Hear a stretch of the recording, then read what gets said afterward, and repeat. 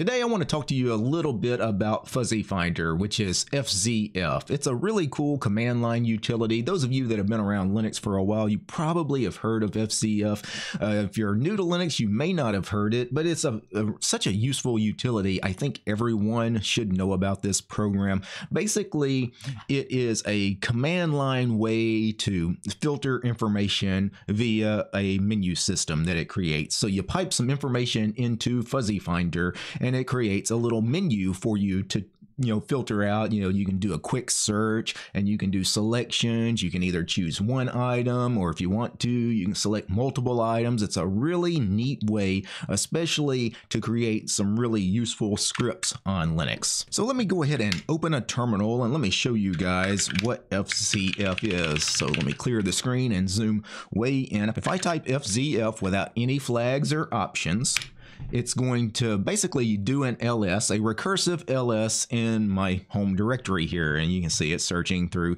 hundreds of thousands of files here. And, you know, I can you know, filter this information by just start typing for something. For example, maybe I'm searching for the bash RC. Uh, this is a lot of information, so it's going to take a while. I should have picked a directory that wasn't so cluttered, but it found the bash RC. If I hit enter right now, it's going to print the output .bash RC, my selection to standard output. Now you're probably wondering, well, that's not very useful, right? It's just printing to standard output. Well, actually that is very useful because you can do all kinds of things where you can run a command and you could pipe it into FZF and then whatever the output that FZF, you know, chooses, you know, for example, if my command was the ls command, actually, we could actually do that. Let's do a ls dash LA, and then we'll pipe that into FZF. So I'll get the fuzzy finder list, and then I'll select it, and then the output's going to be the file I, I choose, and then I could tell it to then do something. We could use xargs, for example. I could do an xargs, and I can just tell it, this really won't make too much sense, but I could, you know, just cat out the information and if I constructed this command properly, if I hit enter right now, it just did a ls in my home directory, a regular ls, not a recursive ls, so there's a lot less information here. I could search for something. Once again, I'll search for my bash rc. I could hit enter, and if I had uh, constructed the command correctly, it should have did the cat command. It says invalid option dash R. Uh, that's because the ls command that I did was ls dash LA so it didn't just grab the file name, it grabbed all of this information, the read write permissions and all of that. So let's reconstruct that in a way that would work. So how about ls dash a, not ls dash la. And now, yeah, now I get bash rc. And if I hit enter, it cats the bash rc. So there you go. So that is how useful fuzzy finder is you know, because whatever the output from it is you just pass it along to the next command. It can involve xargs or you know sometimes you'll just feed it into a different command. By the way if you're not familiar with the standard uh, utility here xargs what this is it takes the output from the previous command and then xargs passes that output to the next command you know you for example cat in this case. Or i could have you know done a xargs and instead of cat i could have done rm for remove meaning the file i select it's going to delete that file. Or uh, mv for move the file or cp for copy the file you know i could do all kinds of really neat things. And again that's where fuzzy finder really becomes like a scripter's best friend. I mean i certainly could imagine doing something where, you know, I script using FZF maybe as a process killer, kind of like a HTOP like program. So to find processes running on the system, I could do PS space AUX, give it those options. And, you know, I get this process list here. It tells me the process IDs and the name of the process, yada, yada, yada. I up arrow and I pipe that into something like Fuzzy Finder. And now I get the same information, except in this Fuzzy Finder menu where I could filter it looking for a specific process. I have the Brave browser running somewhere, so I could search for Brave-bin because I know that's the name of that binary that's running.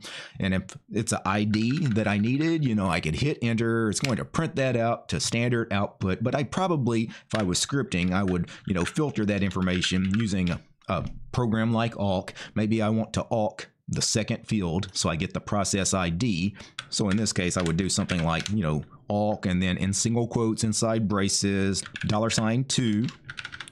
And then with that information, I would pipe that into something like xargs and tell xargs, you know, to basically uh, run the kill command, right, on you know that output you know that hopefully that output would be the process id i don't know if that would actually work. I don't know if this uh, command would work. I'm actually not trying to kill any processes but again that was just a quick example in my head of something that you could try to do with fuzzy finder. And i think that really makes the whole idea of running the ps command finding the process id you're looking to kill and then running the kill command all as separate commands you know you could just add it to one command. Heck, you could put it as an alias in your bash RC or your ZSHRC, whatever shell config, the fish config, right? You could just do, uh, especially if it's a simple one liner, you could add those kinds of aliases to your shell config, or you can make much more substantial scripts that are, you know, 50 lines long, 100 lines long, you know, write scripts designed specifically for Fuzzy Finder. Now, by default, Fuzzy Finder, when you do FZF, all you can choose is one item. If I hit enter, I get the one item I chose. But if you want to do a multi-select, give Fuzzy Finder this flag, dash dash multi. And now don't hit enter. If you hit enter, you just, you know, hit the one selection. But if you do tab, watch what happens when I do tab. I select that, I hit tab again, I select that, I hit tab again, I select that. Now if I hit enter, I'm highlighted on bash logout, but I'm not selecting that. It's just going to do the things that I did the tab on. So it's going to do .rc, bash RC, and bash profile. It's going to print those to standard output. And again, because you can do that multi-select, that is extremely useful, you know, depending on what you're trying to do. Of course, you wouldn't want the multi-flag on all the time with FZF. You know, it's only useful in certain use cases. But for example, like that process killing script that was imaginary that I showed you a second ago, right? You might be able to do something with the multi flag with that if you wanted to kill multiple processes at a time instead of just the one, you know, then you would find this multi flag very useful. In fact, let's do an example of using the multi flag and then piping that information, the multiple selections into something else. So let's use the find command here. So what I'm going to do is I'm going to find and then period. Find period is uh, period is this directory, which right now I'm in my home directory, dash type F. So we want to find all the files in this directory. Then I'm going to pipe that into FZF. I'm going to give it this dash dash multi flag here because I want to be able to select multiple files this time. And then with the multiple files that I select, what do I want to do? Well, let's pass it into xargs. I'm going to do xargs dash capital I and then the braces here. And then I want to pass that information on to the command. What command do I want to do? Why don't we just do a simple head dash n 10 and then the braces again. What this is going to do is it's going to select the files and then each of those files it's going to run the head dash n 10 command. So it's going to give me the first 10 lines of each file if I did this correctly. Let's run it. So let's search for things that have the word bash in it. How about bash RC? I forgot the home directory is so full of stuff. So let me do the tab key on bash RC, and then let's do the tab key on this bash RC that's in this repo. And then let's do the bash RC that's also in this repo as well. So I got three different bash RCs that I've selected. Now, if I hit enter and I scripted this right, it should run the head command on all three of these files, one after the other. And there you go. There is the first head, there is the second head, and there was no third head. I think uh, the other file was probably an empty file. So, but we've got two of them. So it definitely did work as expected. Now, one cool thing you can do with Fuzzy Finder is you can have it preview a file as you're searching through the menu.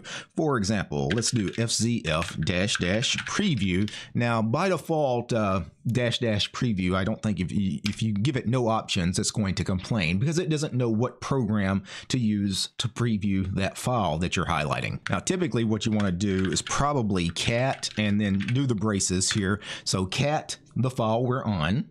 If I run that, you can see we get the cat command.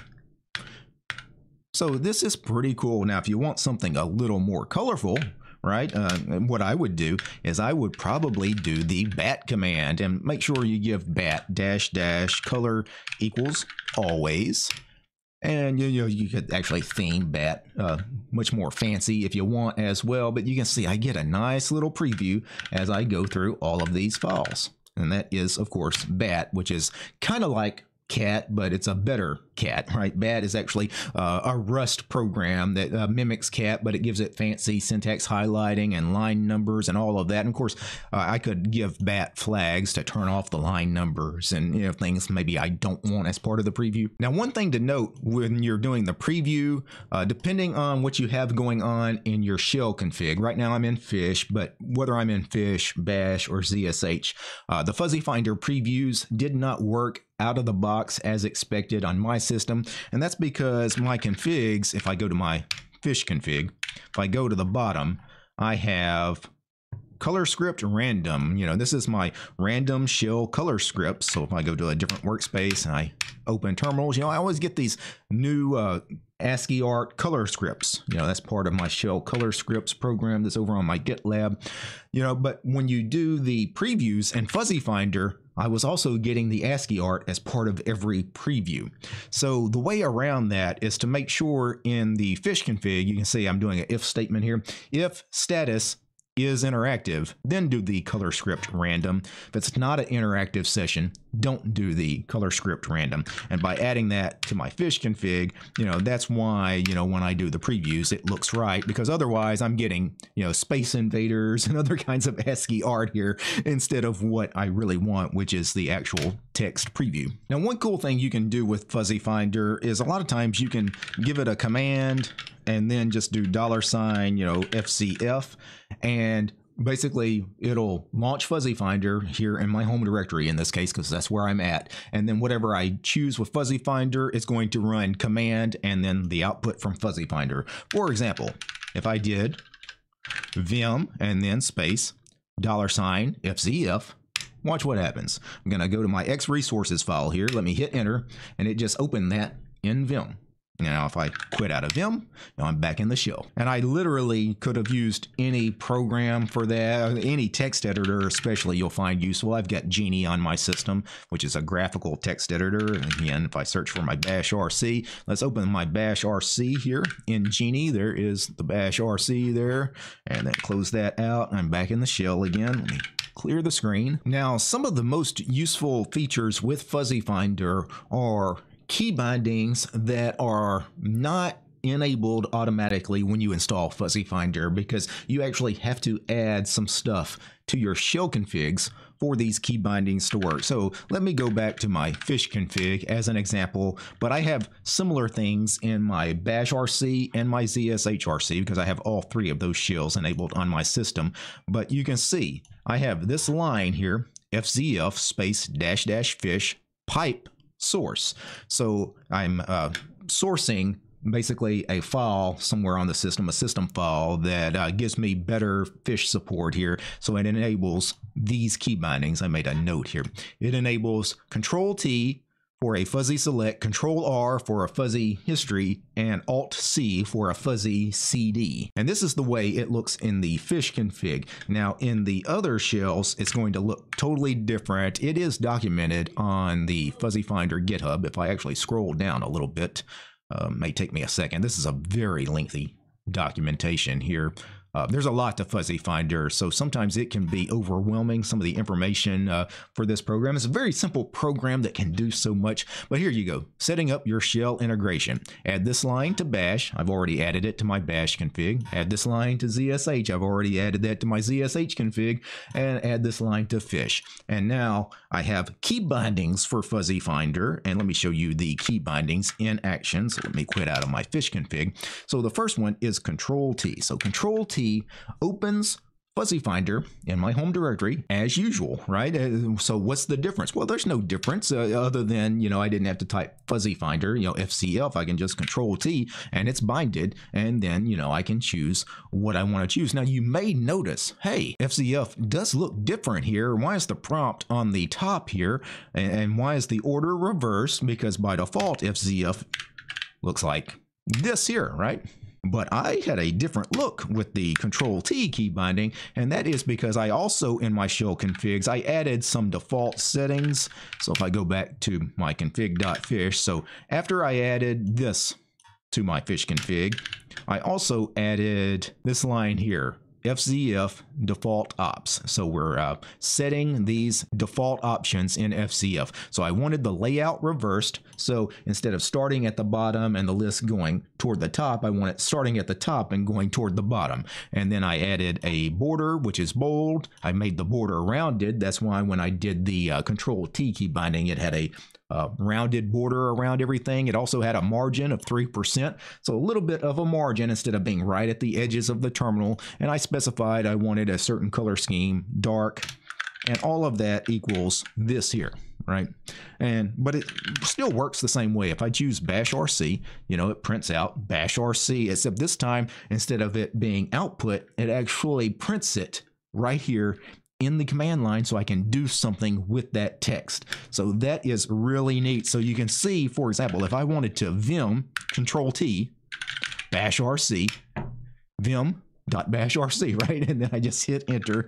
Know, really cool key binding. So that's control t. And again you're not going to have that unless you add those lines uh, those source lines to your shell configs. Another cool one was control r which is your fuzzy history and it's just your shell history right? I can go back in my history and you know or i can search for a specific command. If i don't remember i don't know some command the last command that i used for sed for example you know it was you know this command here you know i could hit enter on that, get that command to pop up right there in the prompt and I could hit enter on it if I wanted to run it. And the last one was Alt C, so it doesn't involve control. It's Alt C for change directory CD, right? And now it's just going to give me a fuzzy finder list of directories and I can search for a particular directory. For example, I know I've got one called AUR. I could hit enter on that and it just CD'd me into that directory. You can see I am in my home directory slash AUR. If I CD, I go back to home. So that is a very quick and cursory look at FZF. Now FZF does have a man page, a very extensive man page. There's a ton of documentation for FZF, not just the man page, but on the GitHub. It's got lots of flags and options. There's so much you can do with it. Like this is just a scripter's dream as far as, you know, creating some really interesting menu systems and then piping information into these menu systems. You can get really creative with your scripting. And that's kind of what I plan to do with Fuzzy Finder. The reason I wanted to uh, rehash Fuzzy Finder a little bit on camera with you guys today is because I think I want to do a little bit more scripting. I haven't done any scripting videos in a while. I was thinking of what would be a cool project. Well, I think writing some cool bash scripts that incorporate fuzzy finder menus I think that's the way to go. So be on the lookout for those videos coming very shortly. Now, before I go, I need to thank a few special people. I need to thank the producers of this episode. And of course, I'm talking about Matt, Steve, Armor Dragon, Cap, Caveman, Darloff, Daedalus, George, Lee, Methos, Arion, Paul, Peace Arch, Fedora, Realities for Less, Red Prophet, Roland, Wargentoo, and Ubuntu, and Willie. These guys, they're my highest tiered patrons over on Patreon. Without these guys, this episode about Fuzzy Finder would not have been possible. The show is also brought to you by each and every one of these fine ladies and gentlemen. All those names you see on the screen right now, these are all my supporters over on Patreon. I don't have any corporate sponsors. I'm sponsored by you guys, the community. If you like my work, want to see more videos about Linux and free and open source software, including great tools like FZF, subscribe to DistroTube over on Patreon. Peace, guys.